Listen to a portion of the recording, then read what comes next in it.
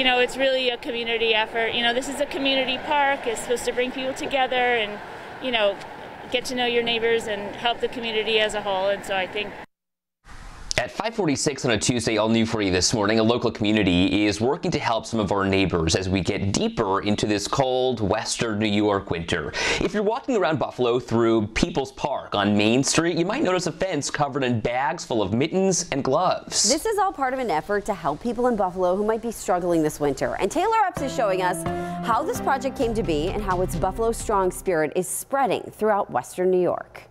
We're used to cold winters in western New York. It's all about wearing layers and bundling up, covering your hands and face. You know, it's often overlooked that, you know, when you're walking around, your hands get cold, you put them in your pockets. But if you don't have gloves at all, it can make managing the weather difficult and dangerous for so many. But a community group is here to help. We thought that this was a really nice way to help people in the community who needed warm clothing during winter. Mara Montante is the director of People's Park on Main Street in Buffalo, a community park known for bringing people together and hosting reading groups during the summer and putting up this mitten fence during the winter months. People can come and leave items. Some people knit things and leave them on the fence, and then people come by and what they need, they take what they need. You know, it's just kind of like a give what you can and take if you need. This is their third year putting things up on the fence. Estimated, we probably give out about 400 items a year. And this year, she's noticed things are flying off the fence faster than usual. But at the same time,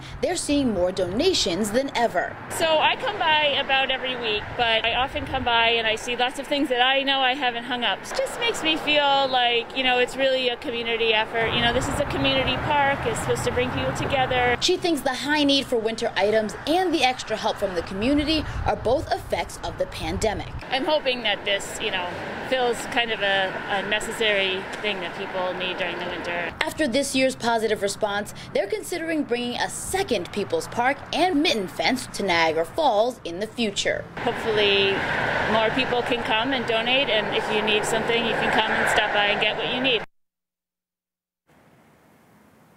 And as you can see right now, the mitten fence is full of lots of warm winter items that people can use. And like she mentioned, a lot of people will knit things, put nice messages, and even some snacks in the bags here. And the mitten fence will be here on Main Street through March. And if you want to stop by and donate, just make sure it's in one of these plastic bags. Just stop by and put it right up on the fence like this. And it is chilly out here right now, so if you do need something, you can just stop by, no questions asked. Really, for now, we're live in Buffalo. Taylor Epps 7 Eyewitness News. Oh, Taylor, you know, I just love that idea. And Ed, it's something as simple as a hat and mittens, right?